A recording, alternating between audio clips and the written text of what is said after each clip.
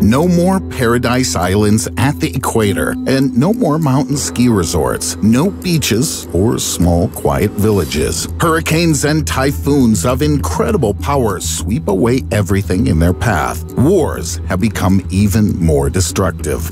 One nuclear warhead can destroy half of the world's population. Sounds like the plot of another disaster movie, doesn't it? But I'm talking about the possible future of our planet. In less than 10 minutes, you'll find out why what's happening right now under our feet can destroy our entire familiar world. Why might the dense Amazon rainforest disappear completely, while normal winds cause millions of deaths? And what does the route from Antarctica to Uruguay have to do with it? Almost from the 150 million square kilometers, or 58 million square miles of land, 361 million square kilometers, or 139 million square miles of water. This is exactly what the Earth was about 300 million years ago. At that time on our planet, there were no islands nor separate continents, only the supercontinent Pangaea and the huge ocean of Panthalassa. Then Pangaea began to disintegrate, and after hundreds of millions of years of slow movement of the lithospheric plates, we got the familiar Earth we know now. However, this process didn't stop. It continues to this day the planet gradually changes its appearance every second. You likely won't notice this without special instruments, but 300 million years will pass and you'll no longer recognize Earth.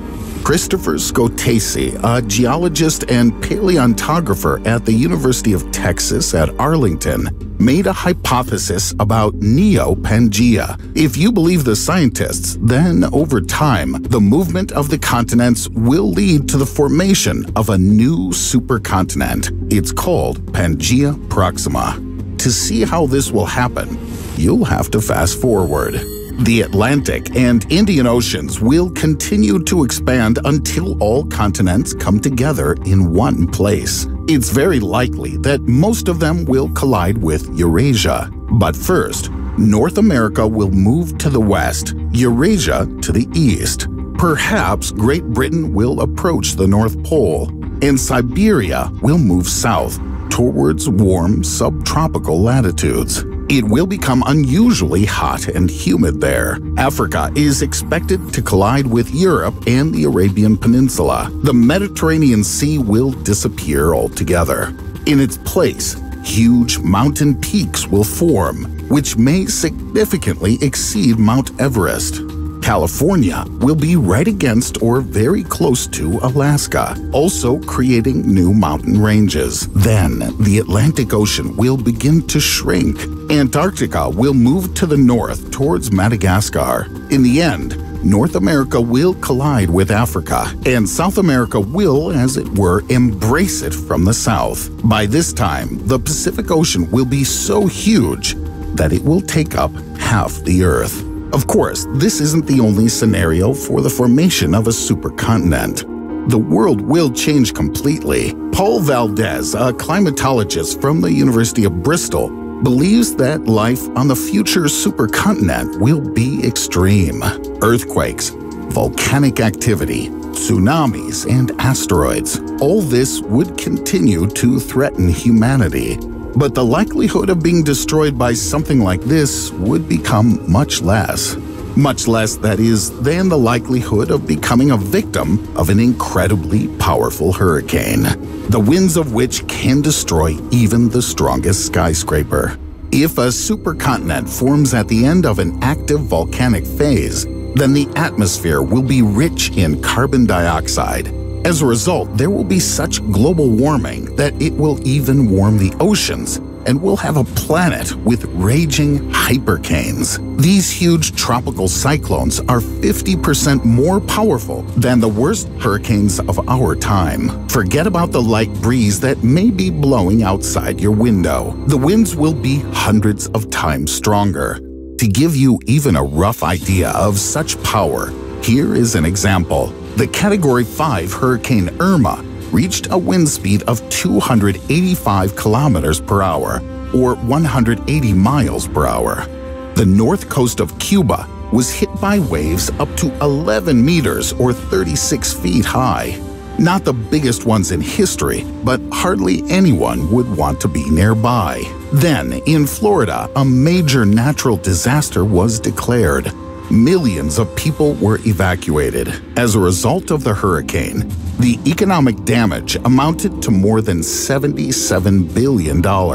Now, multiply all this by one and a half. Wind speed, waves, damage, and similar natural disasters will occur on Neopangaea all the time. Perhaps, with the dividing of territories in such conditions, problems will arise. There's no time for agriculture and various forms of production. But just think how much energy can be obtained with the help of wind generators. So, you think that humanity is somehow too belligerent today? Oh no. Conflicts on Neopangaea will become commonplace. Humans are capable of inflicting much more harm on themselves than nature. Today, mankind has fighter jets, intercontinental ballistic missiles, drones, various chemical weapons. The number of threats that can send you to meet your late great grandmother is increasing every year. Add here nuclear weapons or some particularly dangerous strain of virus. And this is only the weaponry that exists today. But what will they come up with in the future? A world in which countries are not separated by seas and oceans, where you have to constantly fight for resources and habitable territory.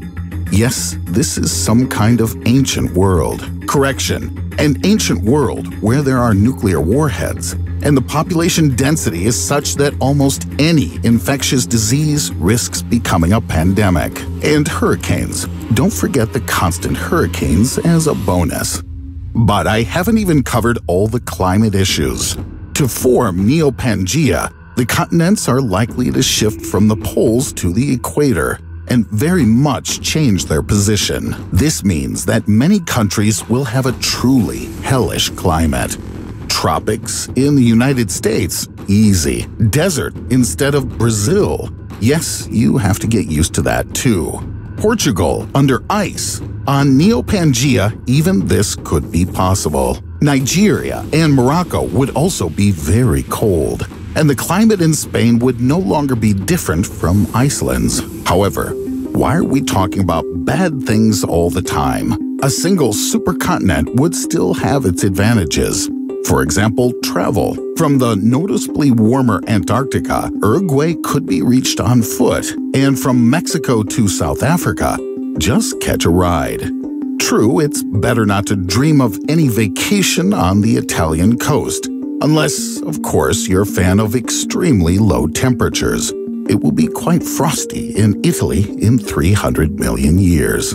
Okay, let's be honest. If Pangea still existed or formed again, you would hardly be happy about it. Yes, me too. Terrible scenario, to be honest. The fact that Christopher Scotese's hypothesis is just that, and no one really knows what the movement of lithospheric plates will lead to for the inhabitants of the Earth. The best news in this video. Perhaps you'll be glad that fish and other sea life feel much better in the vast ocean. After all, people will not have to cross it to get somewhere, which means less pollution and other negative impacts. But no, life in the oceans is directly linked to currents that oxygenate the water and provide other nutrients. The currents depend on the location of the continents, and if they all gather in one place, currents may cease to exist. No currents, no oxygen. Few creatures can survive in such water.